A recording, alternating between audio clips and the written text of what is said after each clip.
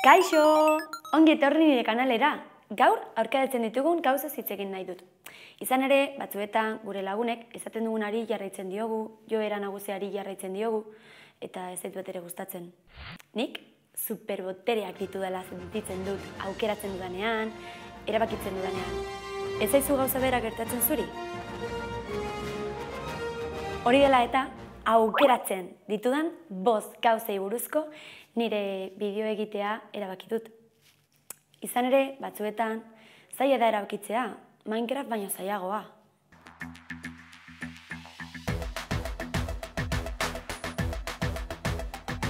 Bideokoak oso ongi ezagutu ikasi dut jokatzen, eta neure burua oso ongi ezagutu ikasi dut erabakiak hartzen.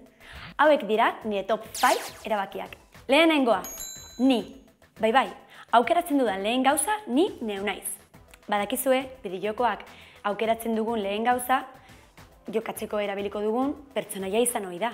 Gure bizitza ere berdin. Pertsonaia nagusia gara, eta beraz, geure burua ezagutu egin behar dugu. Badakit zein diren nire gabezkiak, pazientzia gutxiokoa naiz. Baina baita nire bertuteak ere. Onartu egiten naute, bakar egiten nautelako. I'm the only one.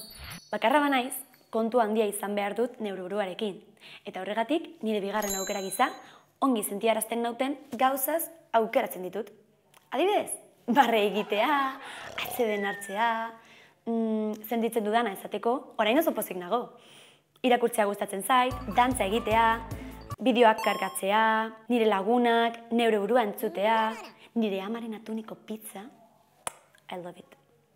Zazki baloia, zinema, jendea ezagutzea. Eta hori guztia izateko oso garrantzitsua da hiruaren aukera. Ez esatea. Ez, ez, ez, ez, ez. Gustatzen zaidanari, bai gustatzen zait, esan ahal izateko. Ez zaizkit gustatzen hamburguesak. Ez zait gustatzen telebista. Ez zait gustatzen gezurra esatea. Ez zait gustatzen zarata. Ez zait gustatzen beste egni, ez dutzea. Nire kuadrilan, batzuetan ez dutu egiten naute. Batez ere, irteten garenean. Edan alkoholkopa bat, ez da eta ez pasatzen. Erre ezazu, erakargarriako egiten zaituela.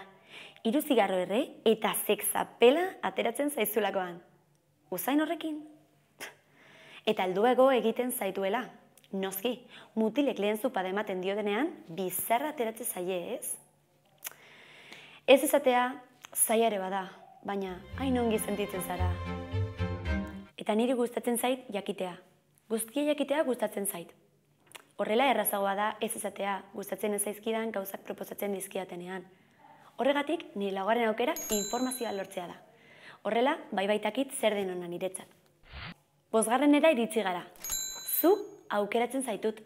Bai bai, zuetako bakoitza aukeratzen dut. Pertsonak bakarrak eta desberdinak zaretelako.